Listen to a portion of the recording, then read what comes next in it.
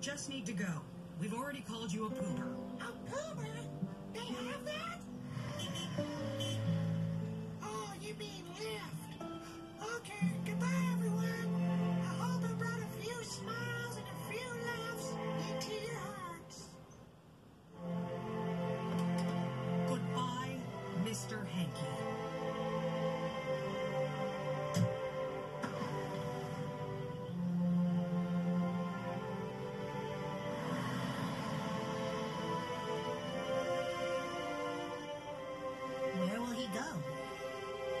He'll have to find a place that accepts racist, awful beings like him.